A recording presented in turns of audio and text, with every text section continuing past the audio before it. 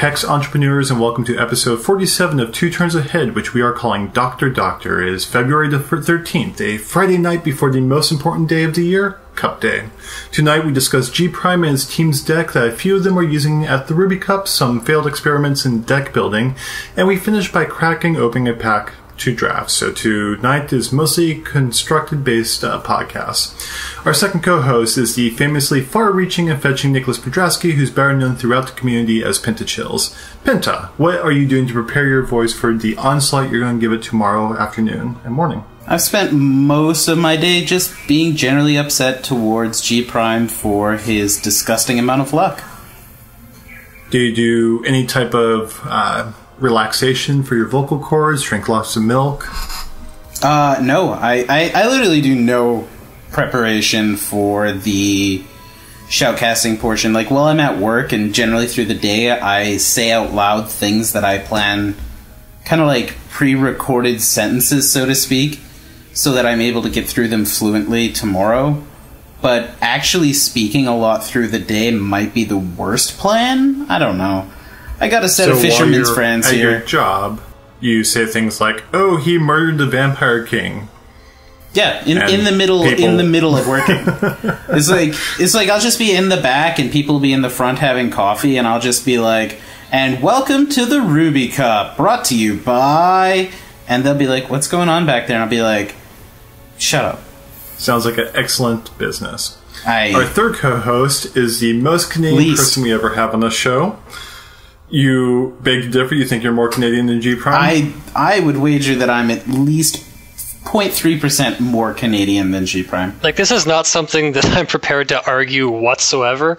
Um, You but should it- Which is just for an that. attempt, just an attempt of yours to try to sound more Canadian. no, um, I mean this this kind of came up when Matt said that every time that he talks to me, uh, makes him feel like he should watch Strange Brew again, and I don't know exactly what that means. But ever since then, there's kind of been a lot of uh, jokes about being Canadian, and well, there it is. Welcome to the show, Will Gabriel, Mm-hmm. known as G Prime everywhere, mostly. Sometimes so- people's favorite. Ugh. you have been exiled for a week Mm-hmm. uh, now because of someone recently said that you were the best on the podcast, and so of course we had to delay your reappearance. So- but you're with us after this week delay. So then, what happens if somebody says that I'm the worst? Oh, we have you on more. Okay, good. So just keep spreading that I'm awful and that I punch babies or something, and I'll be on the podcast more often. Don't Sure. say that. No, I have- Don't say that. I mean, I think Nicholas already says that quite a bit. No. And I had a question I was going to ask you something about. Oh, are you doing anything to ramp up for the tournament tomorrow? Because of the three of us, you're the only one who's capable of playing in it, since you're not running the tournament. Yeah. Do you, mental preparation or anything? Um. I mean, no, not really. I've. I I don't want to like tax myself too much that my brain is completely mush tomorrow. So I've been practicing a lot over the last week, and I think it's probably time for me to just put it down and take a breather, relax, and then when I get into it tomorrow, I should have a fresh brain. That's kind of the idea. Whether or not that's the case, we'll see how I do. Okay. So let's go ahead and jump into our first topic because it's related to that last question, which is the deck that you will be running tomorrow called Doctor Citadel. Yes. Go ahead and uh, tell us what's in it and take us through it a little bit. Well, so it's called Doctor Citadel, and I think that's a name that maybe Matt Miller came up with. And the Doctor DR stands for Diamond Ruby. Maybe it was maybe it was Michael that came up with it. Anyway, um, so what it does is it pretty much takes a uh, mono diamond core. You've got your soul marble, you've got your living totem, you've got your angel of dawn, your hope heart unicorn, and it it leverages some things that Ruby affords you, like uh, the easy and uh, efficient removal of crackling bolt, and a little bit of ramp in Scrap Tech Brawler that lets you bring out stuff like turn Five Citadel of, Ad- Citadel of Adamanth, which is why it's called Doctor Citadel. And um, also lets you play something like Zakiir because usually it's a little bit more expensive than you're able to play early on. And even if you don't have either of those big things that you can cast, you can still use those extra resources that you have from Scrap Tech Brawler to feed a living totem or to feed Soul Marble. Um, so with that, the deck seems pretty solid, and it also has the extra bonus of being able to bring in stuff like Heatwave that uh, Ruby has access to. Something that Diamond doesn't really have is a cheap board wipe to deal with Gorefeast decks. Um, Can you just give us the rundown of what's in the deck? What's in the deck? Okay, I mean, I could. Uh, it's you know ruby shards, diamond shards, and then the dual shard, shard of conquest, and then I listed Soul Marble, Living Totem, Angel Dawn, Hope Heart, Unicorn already. There's also uh, some main deck meeks to deal with stuff that has low attack. It really works very well against Gorefeast decks. It works well against stuff like uh, the Paladin of Necropolis, stuff like uh, Killipede, anything that's got low attack that is otherwise threatening for other reasons. Um, and then stuff like Cerulean Mentalist, which can be pretty scary. Uh, Citadel of Adamanth, obviously, which is in the name. Scrap Tech Brawler, which helps ramp into that. Hope Heart Unicorn, did say that already. Zakiir, which is just super fun. There's probably other troops that fit in that slot just fine. Uh, like we've got uh, Ash Harpies in the reserves to deal with decks that just will be able to remove that Zakiir every time you play it. But Zakiir is fun and very daunting to see on the board. You have to deal with it, or your opponent's basically going to win the next turn or the turn after that. What champion do you run, G Prime? I can't believe that I haven't addressed that yet. Rutherford Banks is the one that uh, that I've decided to run. There was it was either that or Dimid um, when we first were looking at this deck, and Future just basically threw the list together. And over the last week, Which I've been trying. you know to, it's good. yeah, well, of course, that's how you know it's good. Over the last week or two, I've been trying to figure out what needs to be done to the list. And funny thing is, the main list itself didn't really need any adjustments, aside from changing the champion from Dimid to Rutherford Banks, which I find um, is a lot better for bringing back stuff like Zakiir when it dies, stuff like Living Totem that you've already poured a lot of resources in and you'd like to get back. Um, or you can use Rutherford Banks to bring back a Scrap Tech Brawler so you can afford something in your hand that you wouldn't be able to afford otherwise. And that's a really cool trick. So, in terms of the hero power, what target have you used it most on? Probably used it most on Angel of Dawns just because it's very often for them to get killed early on and for me to want to bring them back. Um, but probably the second thing is Scrap Tech Brawler to like be able to place play Citadel of Adamanth out of my head. Also, just because you're already generally at seven, well, five to seven resources, getting the Scrap Tech Brawler, and then having the resources to both play and finish a Soul Marble. The dwarves are very uh, efficient sculptures, sculptors, sculptists, Sure. Yeah. sculpture, sculpturers. Well, I think the Scrap Tech Brawler just kind of feeds Artisans? the uh, the artist, the uh, sculptor, a bunch of you know hexing gems, and that just makes them more efficient at doing their job. That's I think that's how that card works.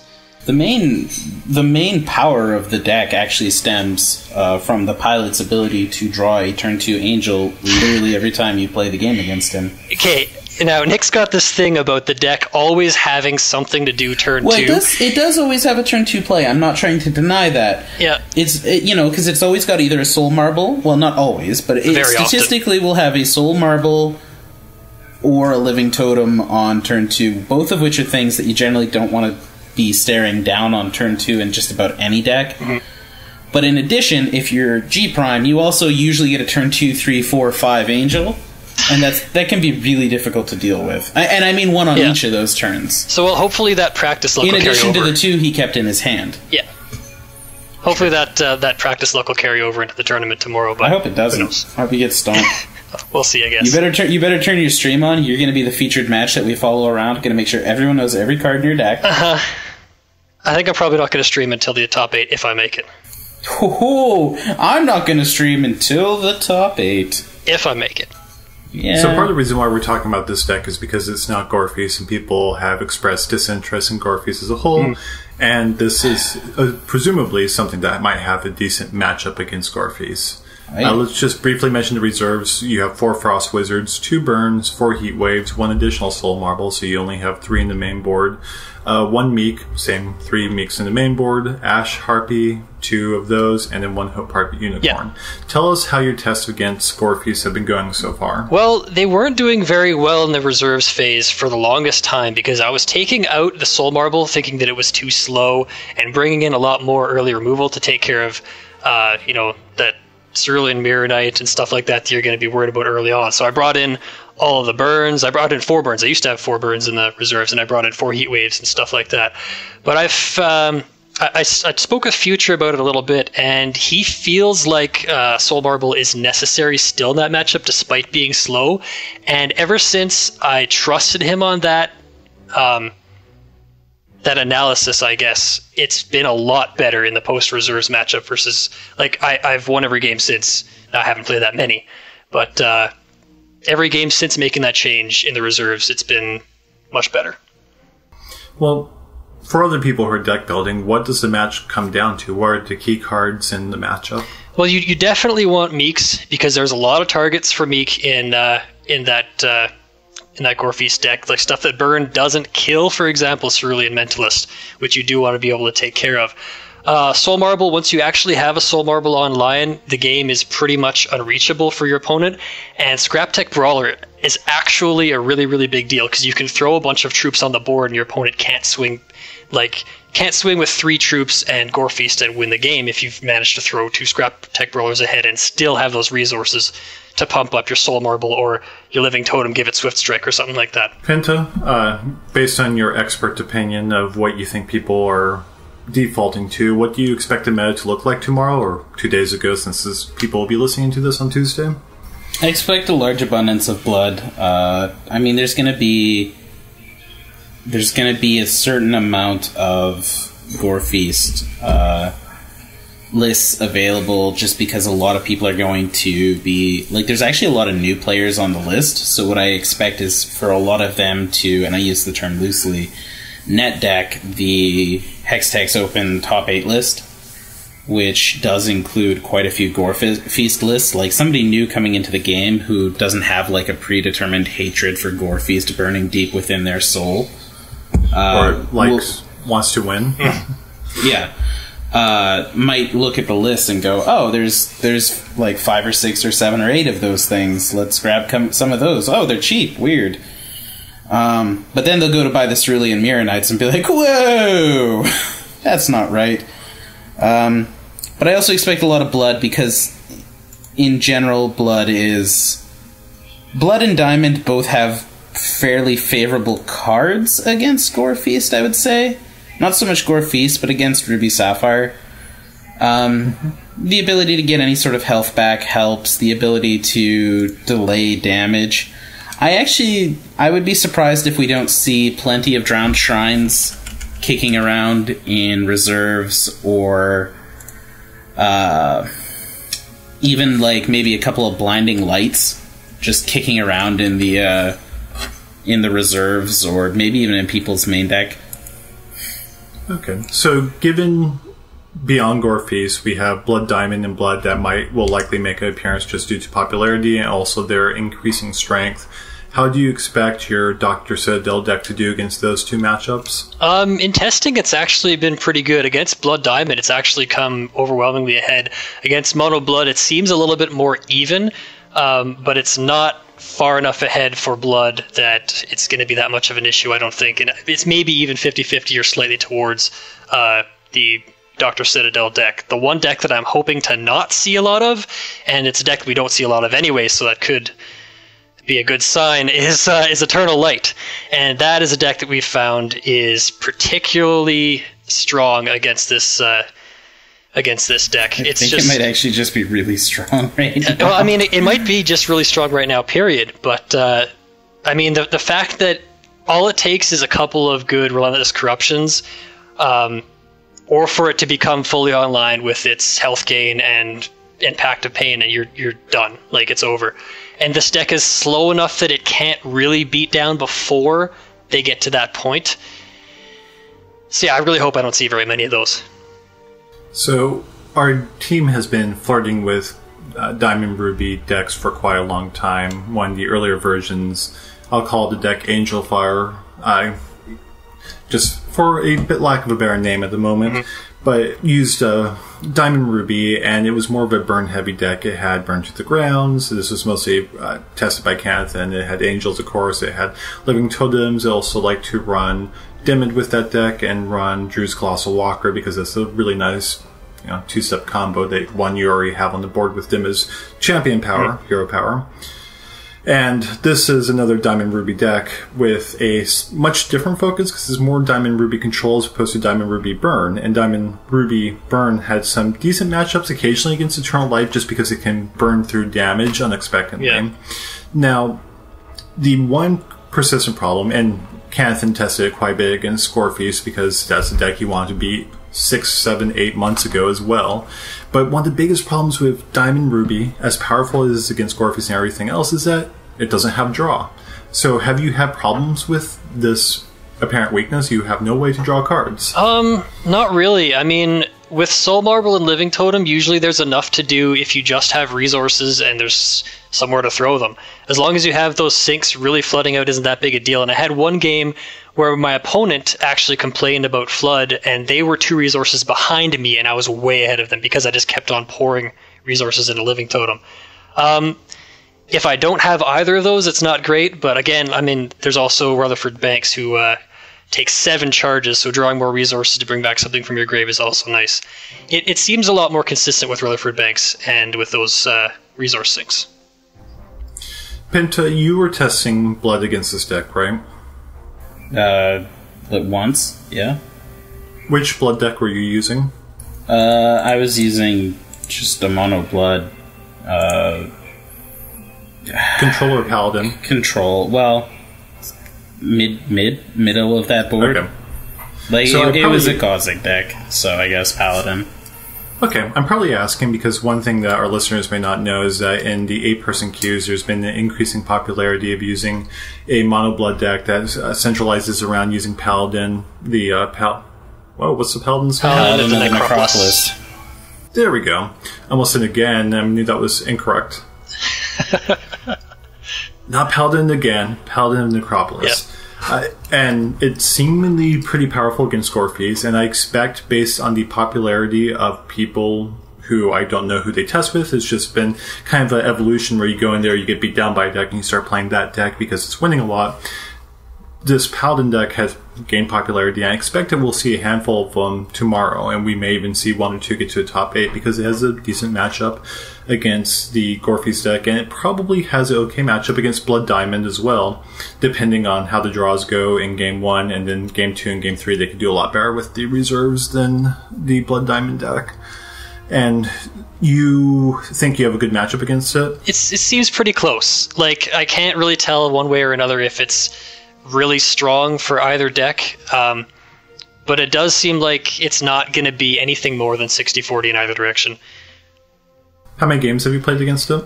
Uh, I only played the one match, and then before me, uh, Matt played a match against Flipperon, and it didn't go too well. So I was worried that there might be something wrong with the deck. But they told me um, after the fact that it was actually a pretty close game, and it just so happened that the uh, Mono Blood deck managed to get the right top decks to win. Okay, I'd probably ask about how many times you play against a match because one of the things we know about constructive testing is that often what we based our assumptions on around what a win rate is is a little bit of theory crafting, mm-hmm. but also some testing. And often, especially before a big tournament like this, where you're pressed to test as much as possible, but you don't have infinite time, our sample sizes are really small. And so having six games or five games against Mono Blood gives you a snapshot, but it doesn't control for things like the pilot or the build Yeah. that they were using. Yeah, and you have to test And- against a whole bunch of decks too, so you got to factor Yeah. that into the fact that you have limited time. And there are, you know, half a dozen decks that you're very likely to have trouble against in the meta that you need to be prepared for. And uh, of course, that time to be able to learn how to react to certain things in a deck is important, and then knowing how well your deck does, so you know how to like form the reserves to deal with the, the meta efficiently. There- you know, it's it's it's not trivial how much preparation the tournament requires beforehand. I just know there's been many times where I've tested a matchup enough times, or I thought enough times, like, oh, this is a trivial matchup. I know what to do. This is how I win. And then go into a tournament, not just with Hex, but with other games as well, and just get crushed by the same matchup. And it's because either the person who was test- I was testing with did not pilot it expertly because they're working on their own decks and they weren't playing that and they don't have much exposure to it. Mm-hmm. And there's been times when I've been asked to pilot decks and I've been terrible at it uh, especially in WoW TCG. I, when uh, helping someone prepare for a huge tournament, played lots of games against a matchup he's worried about. He beat me every time, and then he went to a tournament and lost every single one of those matchups he played against. It's like, huh, you're really bad playing that game, Zubrin, or that deck. Yeah. it's like, yeah, apparently. and that's and that's the major advantage to having someone like Future, or someone like Anima uh, in the play group because they're really, really good at piloting the Gorefeast deck. So if you want to test Yeah. against Gorefeast and you want to know whether or not your deck can beat Gorefeast with a really strong pilot, then having them is a huge asset. or if I'm available, Blood Diamond. And a lot of us have our expertise. I mean, but also you and Penta became really good with Gore Feast for very much a similar reason that people kept on asking you to play Gore Feast, Yeah. and so you became good with it as well. But unfortunately, I can't test the deck against myself because I know too much. What do you mean? Well, I mean, I I, I can't just his brain take is si- just no. too full of information. What I'm Compared saying- to the other what I'm players, saying- what I'm it's saying- really hard to keep Okay, his don't put- don't information. put words in my mouth. because he I'm- knows the cards in both hands if he's There we playing go. both decks, so he go. doesn't play optimally due to the fact. Yeah, that's what I was trying to say. Also, he's smarter than everyone. What's the implication? I, I, I did not say that. You There's been implied plenty of it. I- times where I've self-tested against uh, myself, and even in Hex, where I because would Mike doesn't mind knowing against more than everyone. and I think you can pretend enough, like you don't have the information that's you actually do have in front of you, and play as if you didn't have that. But you're right; it is hard. Mm-hmm. Penta, any thoughts about Diamond Ruby? Do you expect Um, him to go O2 drop? Do I expect G Prime to go O2 drop? No, I expect him to make a lot of people mad with Angels of Dawn. Uh, specifically, I expect the deck to do fine because it does a couple of things very well. Um, I'm not sure how well it's going to do against some of the outlier decks. Like some of the just like random stuff that you come up against. And also i'm not really sure how it does against just like a swarmy beatdown. Uh like any sort of like ruby wild or mono ruby or mono wild uh might have chances against it I think it has favorable matchups pretty much around the board. I personally wish that uh, for anyone in our playgroup that's actually running the deck, I kind of wish they would put in one Gore Feast. In, it just maybe into the reserves somewhere, maybe in the main deck, replace one of those Citadels. Uh, not to ever play it. Um, I would prefer they never played the Gore Feast, but just to have it there so that it's you know in the deck list, and so when people are reading it, they're like, "Oh, Ruby, Diamond, Soul Marble, Solitary Exile, Crackling Bolt, a Gore Feast! Oh, again!" But uh, I don't think it really fits in the deck though. uh, you That's you've never attacked. You've never attacked with Rage One Castle walls. Thank you very much. Sure, but they're defenders, right? Excuse me, what? Castle walls are they not So that proves his point. You haven't done that. Excuse me? Are you just admitting to not doing the thing that I said you weren't doing? Okay, Also, also it's defensive, not defender. sure. Um, but yeah, it. I think it'll do fine. Like, it's definitely a cool list. Uh, I think it's got a lot of testing. I know that. I know that it's basically just been a hot topic in our playgroup for a while. So I guess that's kind.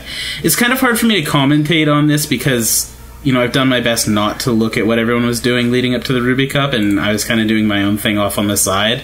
And I have something I'm really excited about, and then all of a sudden everyone's like, "Look at this thing!"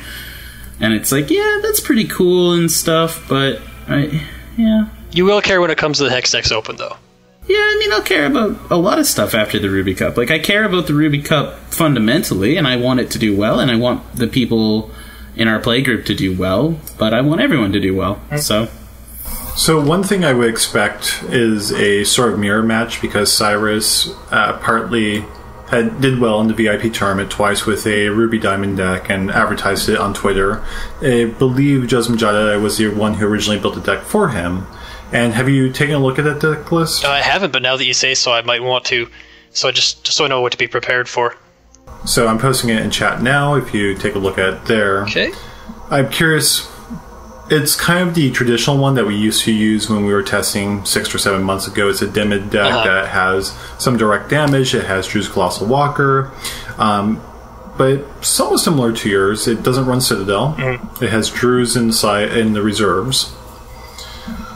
How do you think your matchup goes down against the this pseudo mirror match? Um, from what I'm looking at, it doesn't look like there's anything that the deck can't answer.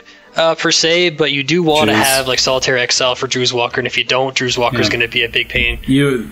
That, that like that's the thing, right? You only have one answer for Droo's Colossal Walker, Yeah. which I suppose, looking at it now, is a card that's kind of fallen out of favor in a couple of decks, but I'm not sure why. 'cause Droo's Colossal Walker is still just a beating. I th- I think that deck that I'm looking at right here, the one that Cyrus was running, um, doesn't have Soul Marbles, So I, I kind of feel like if you ever complete a soul marble, you've He, he does Yeah, he does have four evolved. Oh, does he have four? Yeah. Okay, I'm sorry. Yeah. It, it's hard to read because they like now that they've updated Skype, like it's just this white and blue mess, and I I don't know, Mm-hmm. my screen's too bright or something. Um, I don't know. I think it's. I, I think you guys are basically running the same idea. It's just it's colossal walkers instead of like citadels and scrap tax. Yeah, but I, I do think uh, pre-reserves at least. Um, the version of the deck that we're running has a little bit of an edge because the four heat waves in his deck don't really do too much against the main deck version. Um, the Meeks don't really do much unless he manages to luck out and get a, living totem before we can, you know, pump it up. He only has two main deck solitary exiles, so there's not a whole lot to deal with our soul marbles. Um, and of course, he could luck out with Angel of Dawn, just like Angel of Dawn, like we could. Um, and Droo's Colossal Walker could be a problem potentially, but yeah, I think in general, it's got a good matchup pre-reserves. Post-reserves, I think it's a lot more up in the air. The heat waves is something to be careful about if you see a opposing Dimid who has dropped a diamond and a ruby shard. Mm-hmm. That you don't want to play your totem on turn two. Yeah, that's true. I'm not sure how aggressive you are with your totems, but I imagine you're a little bit aggressive in Ruby Diamond more than you would be with Blood Diamond. Yeah, it's it's all matchup dependent. Sure. As it should be. Actually, I was kind of surprised to see Solitary Exiles in your main board because uh, that's something I've been considering in other decks like Blood Diamond of taking out of the main board and putting it in reserves. Partly because they don't feel as strong against Gore Feast. Things like Time Ripple make you really sad when you use them on uh, suboptimal targets.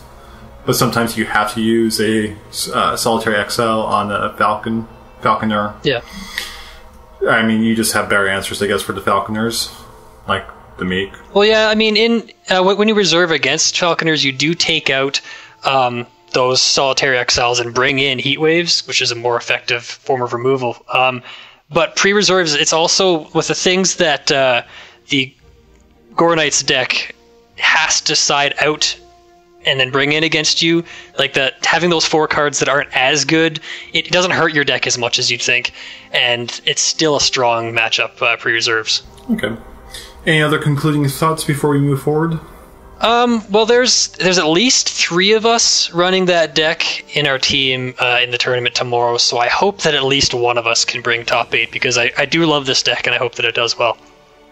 Who else is running it? Uh, I know that Future's running it, and I'm pretty sure that Flipperon's running it, and there might be another couple of people who may or may not play or may or may not decide to run it instead of something else. There's a few other decks that are floating around within the play group, so we'll see. Okay. So our second topic is another constructed topic. Don't worry, people. We will get back to draft in a future episode.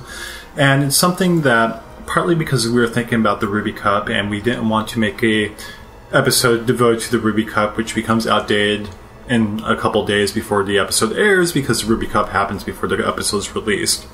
And occasionally on this podcast, we've provided deck lists of things that were work in progress. But the last time we did that was, I believe, when Jeremy Crawley first said, You know, I have this kind of neat idea with uh, Discerulean Mironite and Stormcall and other things. And it was kind of one of the proto examples of, uh, well, not Gore Knights at the time, it was Gore Storm. And we haven't done it so much on the podcast in a long time. And so this topic, I forgot why I called it in the show notes decks that have yet to be. So we all have decks that we've worked on and that we keep on coming back to and try to improve a little bit better over time. And for whatever reason, they're not working out. They're missing one or two cards, or the meta's not just right for them.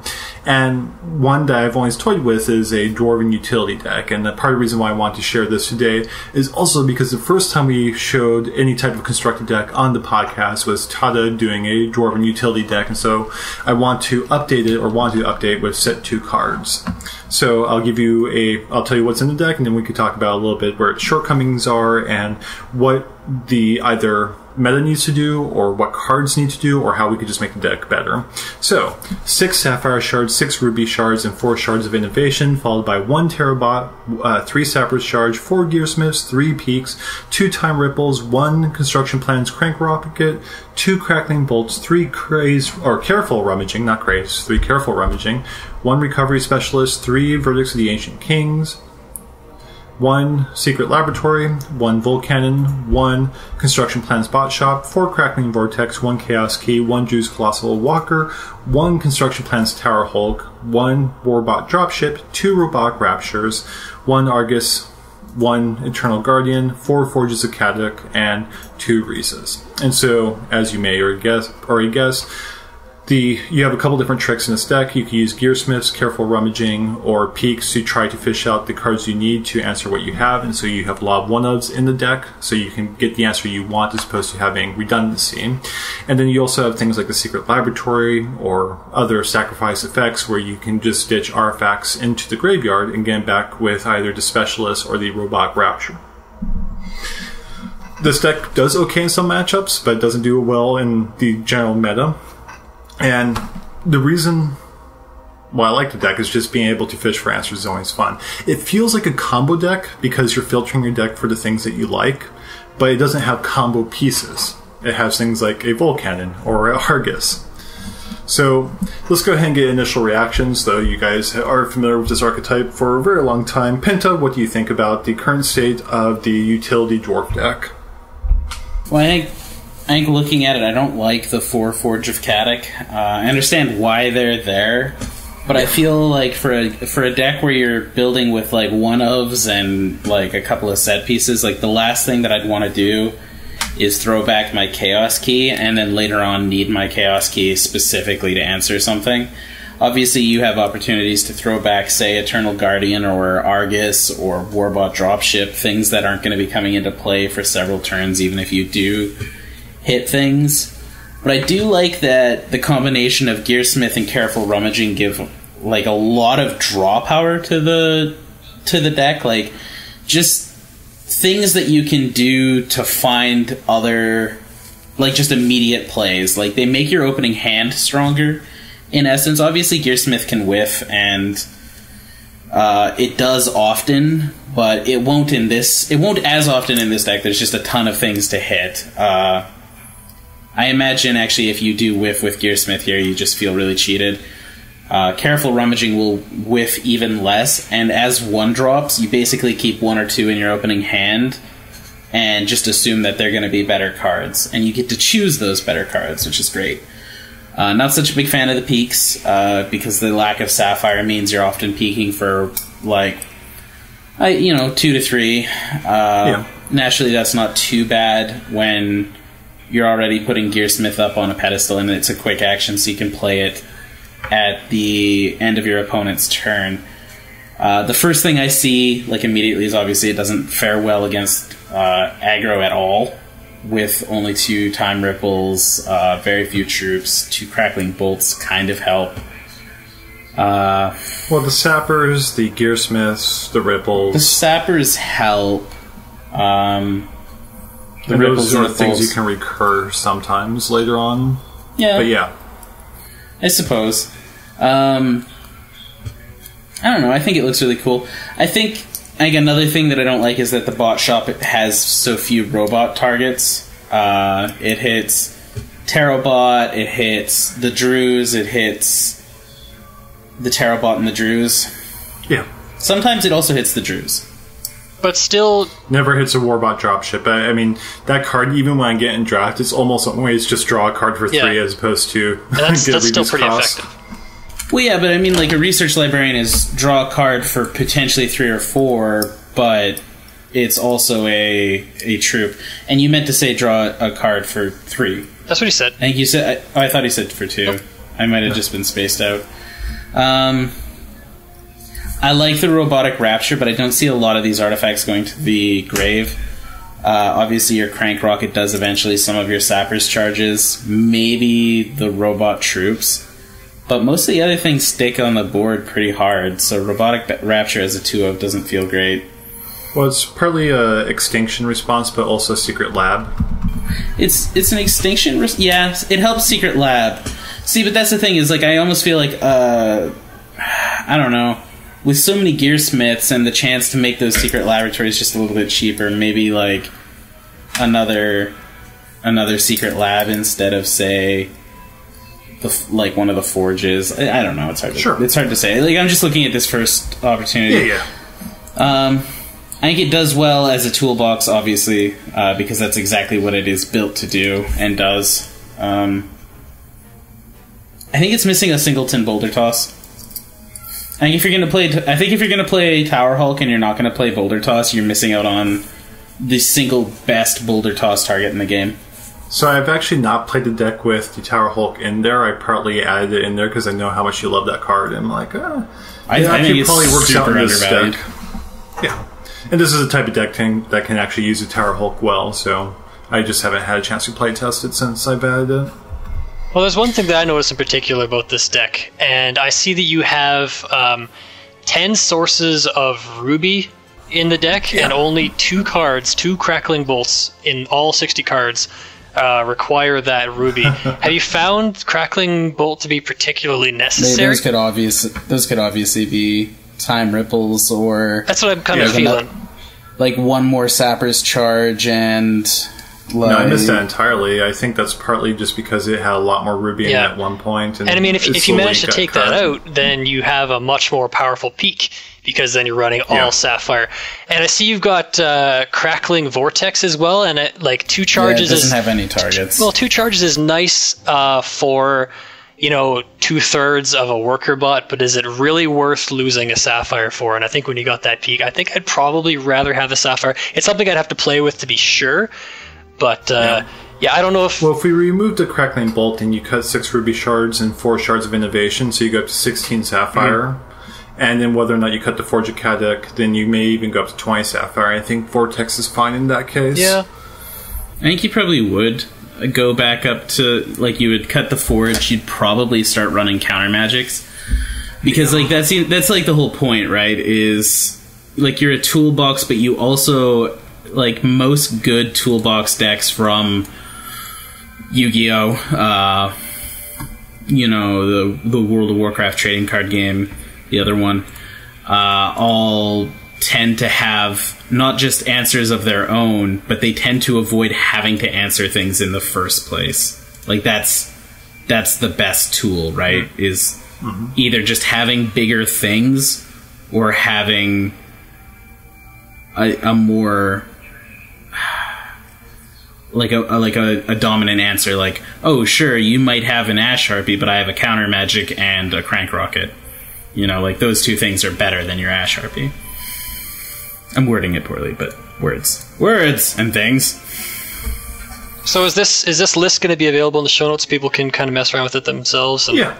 Oh, of course. Uh, yeah, the same thing with the Ruby Diamond list, is that both of those things are going to be available. I'd be So interested think- in. I'd be interested in seeing like if you're if you're a watcher, a listener, a watcher, a podcast in imbiber. If you would uh, take a look at the list, you know, I don't know, make some changes, make a list, and put it in the show, uh, like in a comment or something. That'd be cool. I'd be, I would look at those. like show us a video so of the deck performing. Maybe it'd be pretty cool. Or if Yeah. you do something amazing, like get a 40-40 Tower Hulk into play against a real opponent. Or use the deck or a variation of it to win the Hextech Open, perhaps at the end of the month.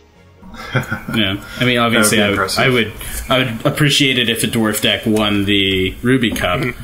Uh, but, But they won't be able to use this one because I- it won't you, you won't. Yeah, you won't be hearing this before the. Yeah, I was just clarifying because So, part of this is to spark another conversation beyond the deck itself, and so you can keep on thinking about the deck if you have other suggestions as we move forward. But which deck? uh, the dwarf deck. oh, I already But forgot. in regards sorry. to Penta, uh, are there what's the deck that you keep on coming back to that you can't quite make work, but you want to make work?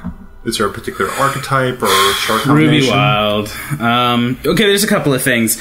I play. I play a dwarf deck uh, on the on the proving grounds often. I want to say, uh, which is uh, very heavily based around playing a cheap construction plans Tower Hulk.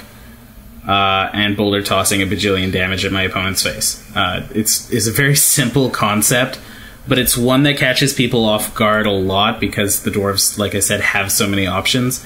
But as far as like an actual competitive, like I want this to work very well archetype goes, I I would really like to see Sapphire Wild work. Uh, the pieces fit together in my head like it should be viable.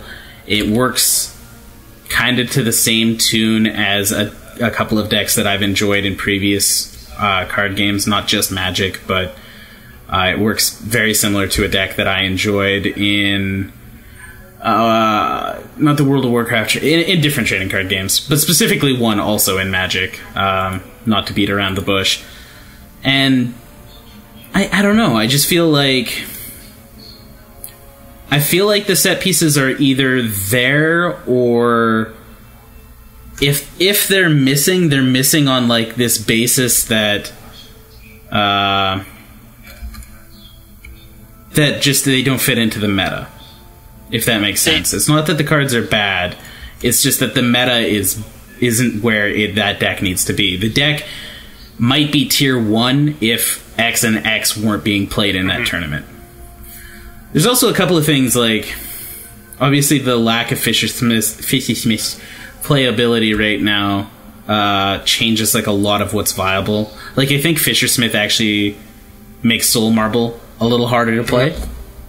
Uh, so forth and so forth. But yeah, Sapphire Wild is the deck I I would like to build. Something like just to try to give an outline. Uh, Okanj ceremonies. Uh, Mentor of uh, Okanj.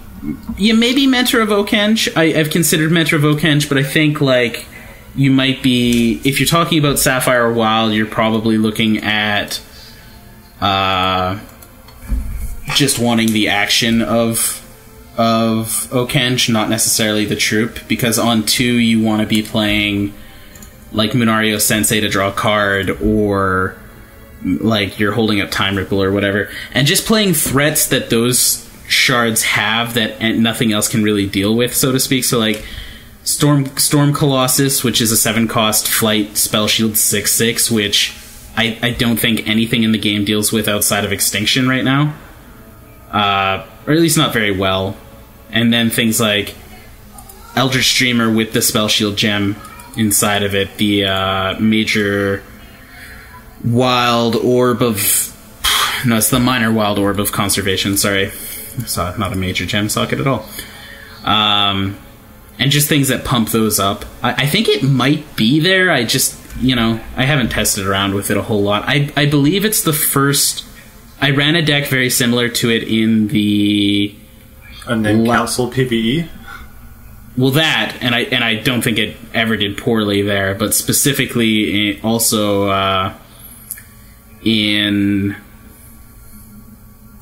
the Hex TCG Pro, not the Invitational, but the last one before that, which was the first one I got to play in. I think that was July. Sure.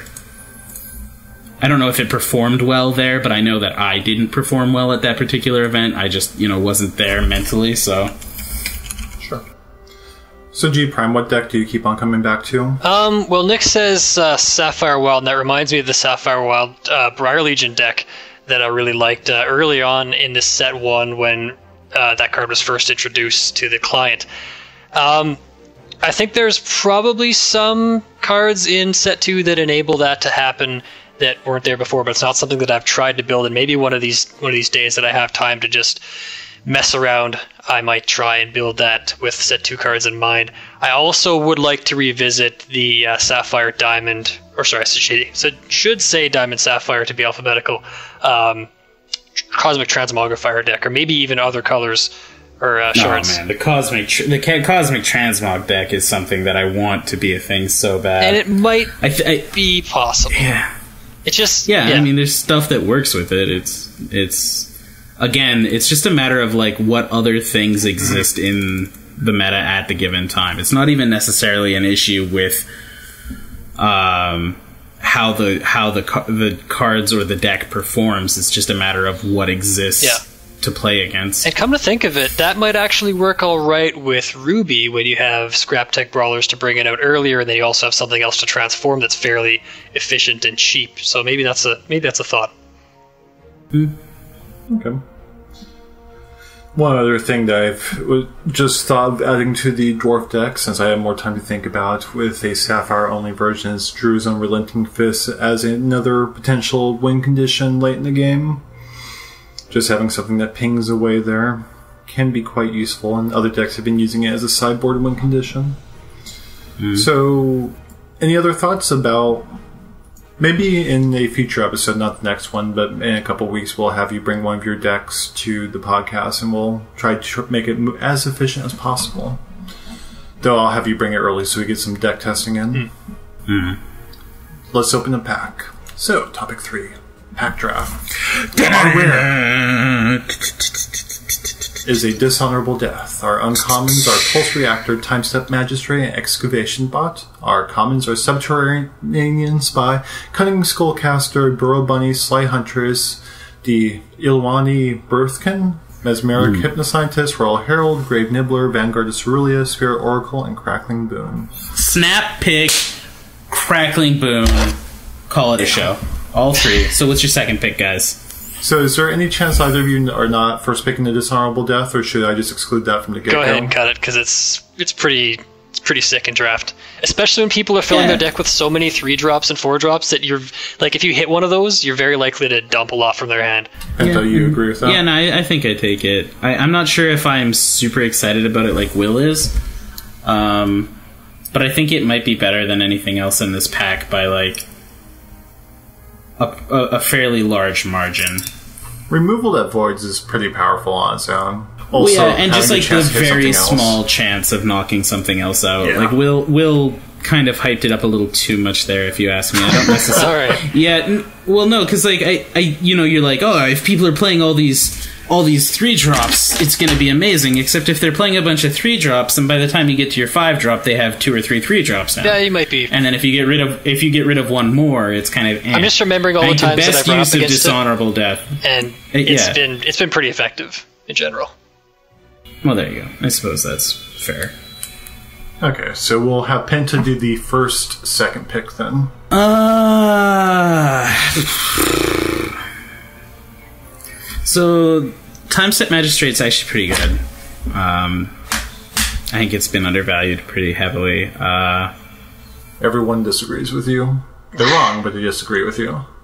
no, I mean, I mean they might not be wrong. I might be overvaluing it. I think that time step magistrate's actually just such an enabler.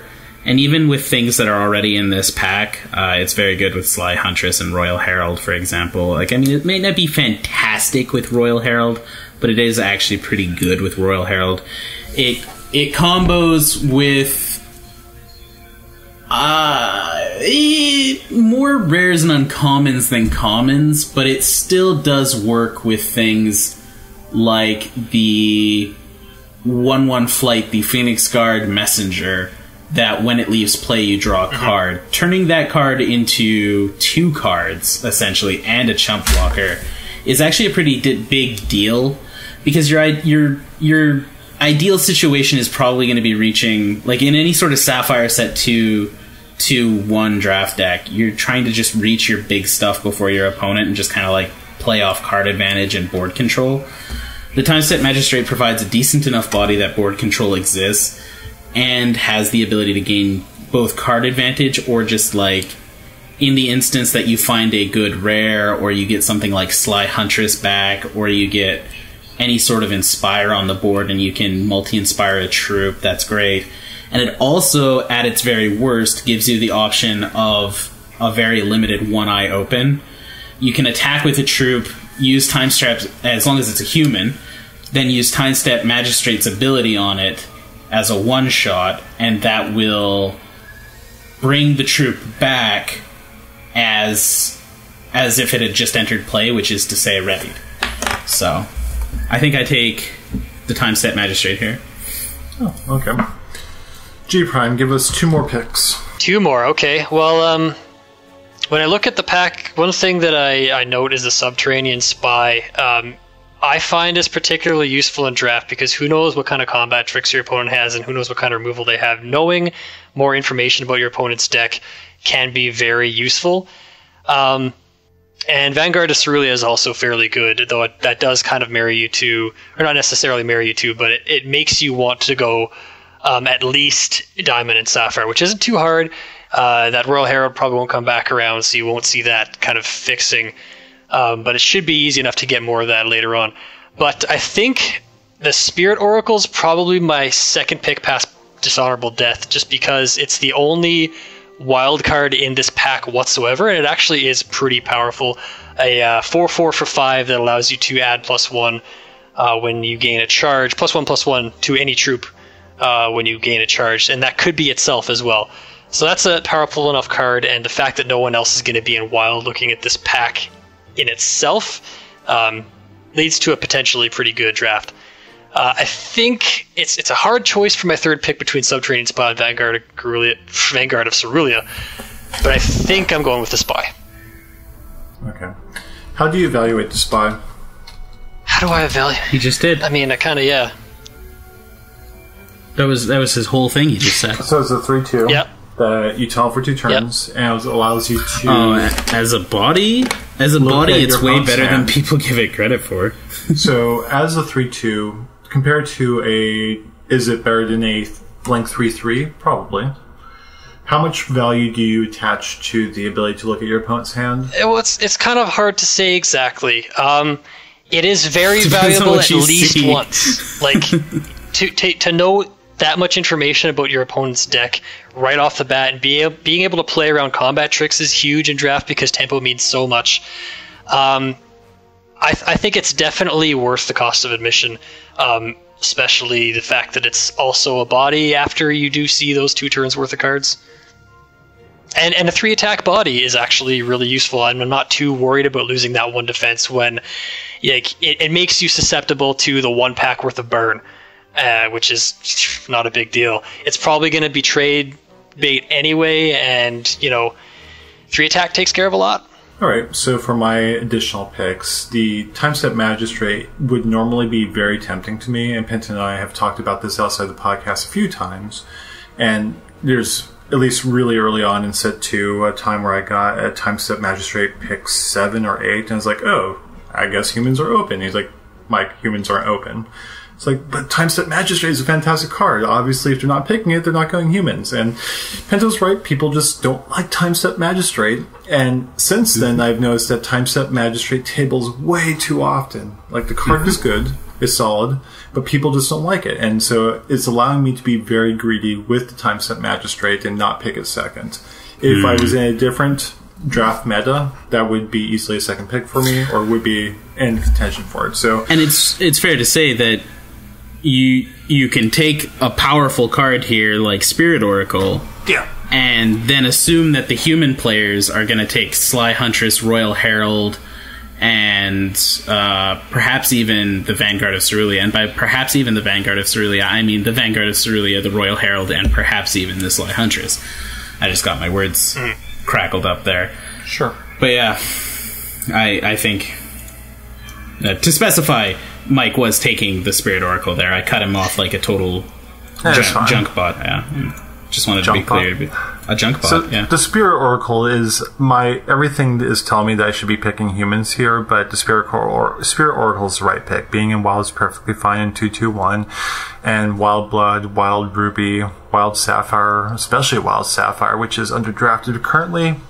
Flying monsters are still good. It's really hard to deal with that in two two one. So if you get something like that, consider picking up uh, Feather Drifting Down River instead of Fuzzico, and you might have some really powerful things coming overhead.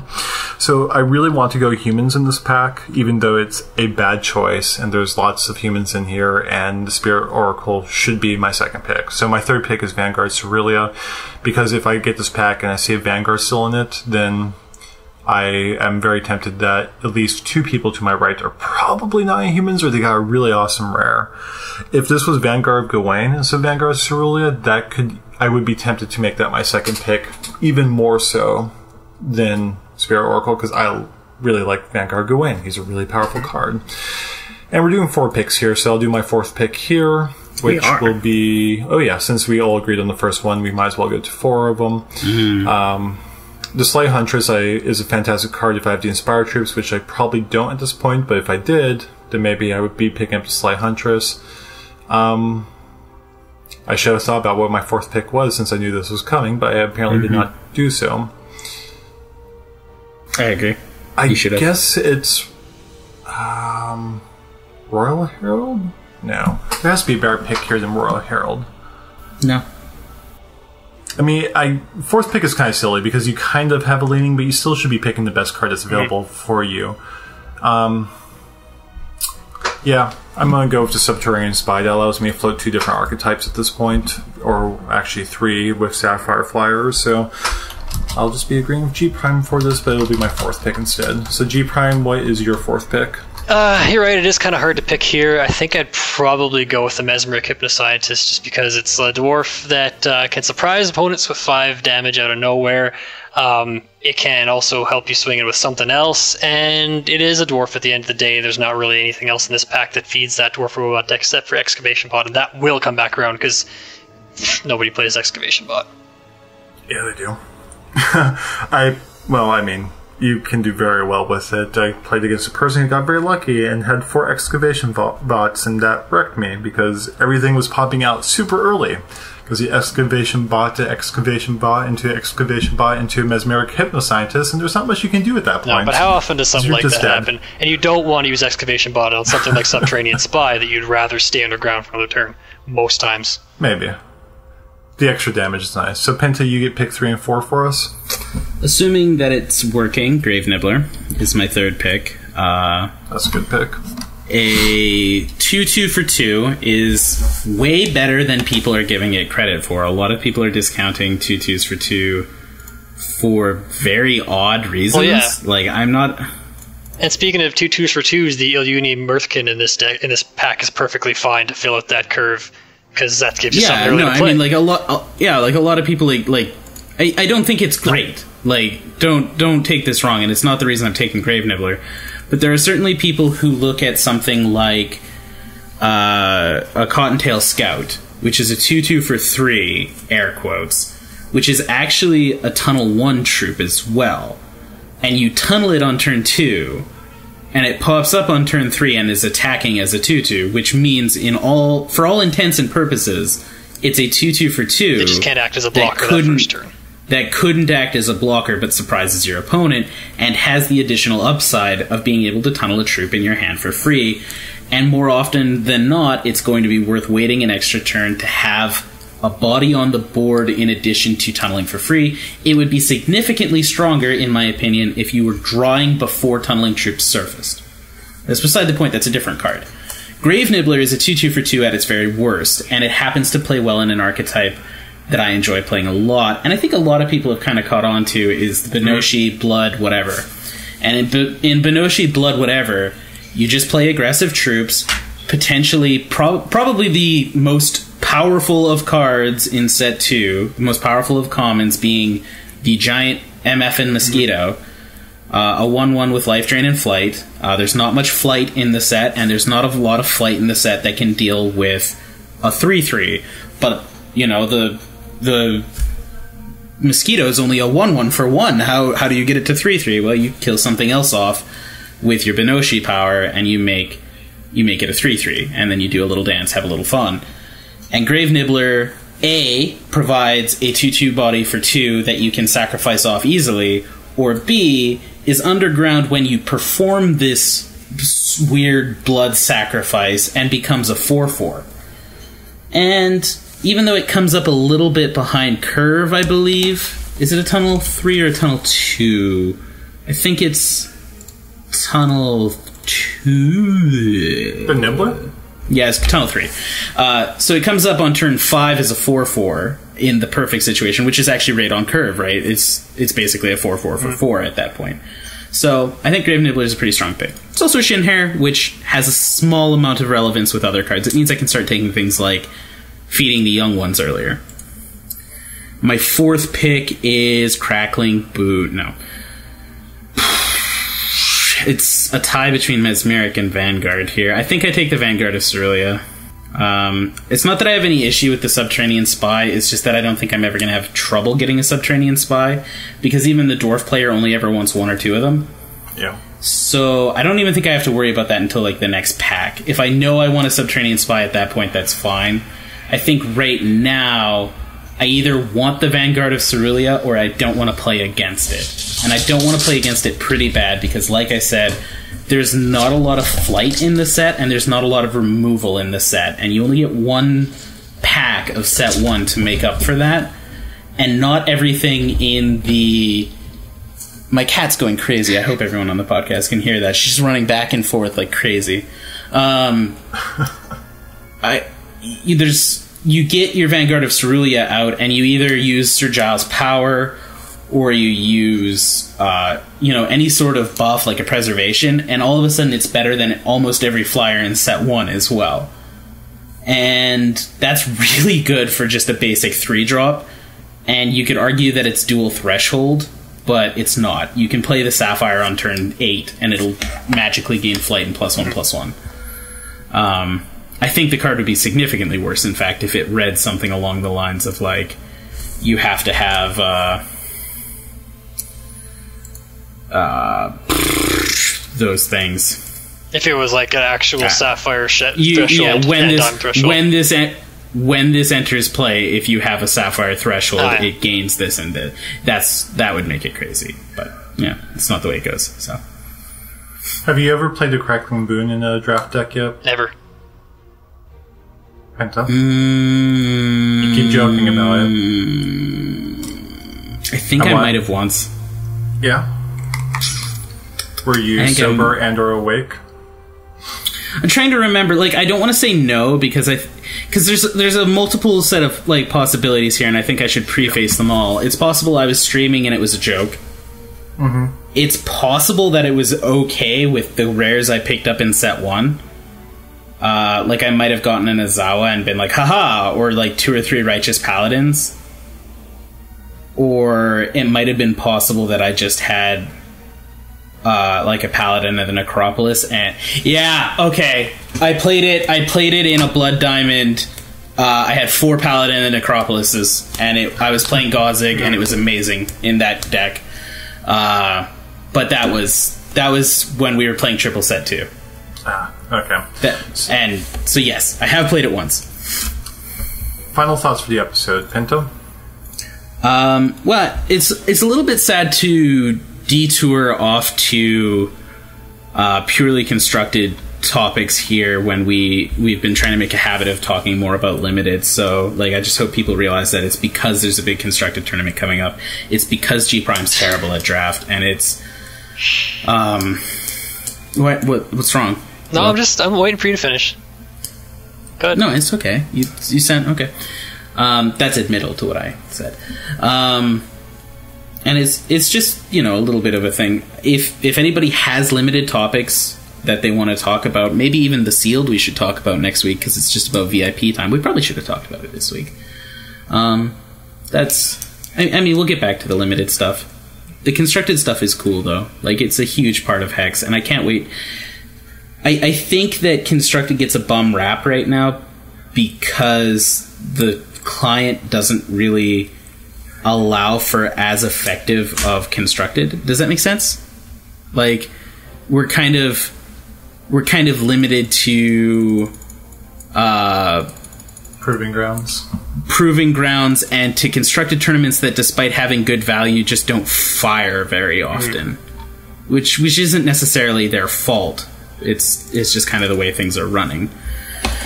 Um, so yeah, I, I I can't wait to get back to constructed. Yeah. Or to Prime, limited at some Final point. thoughts? Um, I just hope that uh, any of the people who are multi-boxing using one client to play the tournament and one client, the test client to play PVE at the same time, don't make any mistakes by pressing the spacebar while the wrong window is focused and ruin their tournament presence by that kind of mistake. And I hope everyone had a Yeah, fun that'd be- time, and uh, good luck also next week or this weekend coming up in the VIP. By the way, if you push F10 on your turn after you cast a Mastery of Time in the live Play. client, does it skip both turns? Because it does on the test client. No. This happened to me twice now. Okay. No, it doesn't. It's um there's a lot of bugs on the test client that don't happen on the main client yet and they, Yeah. they they're aware of them in threads. It's actually it's actually kind of like the main client has had a couple of weird hiccups recently that weren't necessarily part of the client until that uh, I've actually played away. some PvE matches this week, and Jank Feast has been. Uh, occasionally, I've been skipping my own terms with Jank Feast, but okay.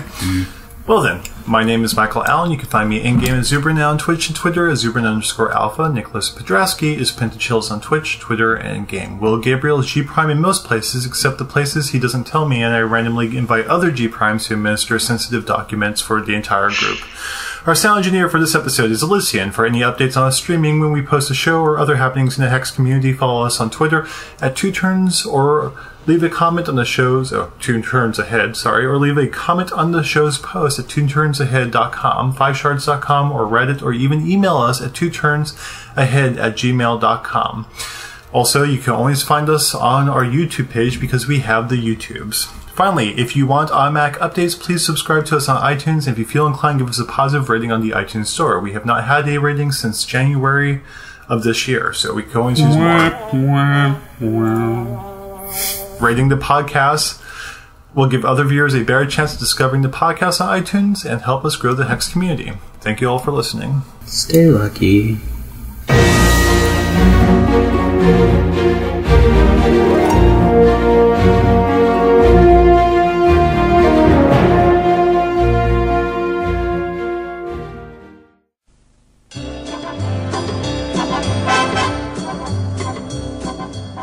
Wish I remembered what Matt said over top of you when you said stay lucky last episode so I could repeat it, but I, I completely spaced on it. He said something, then you said something, he said you, you wanted to put the last word in after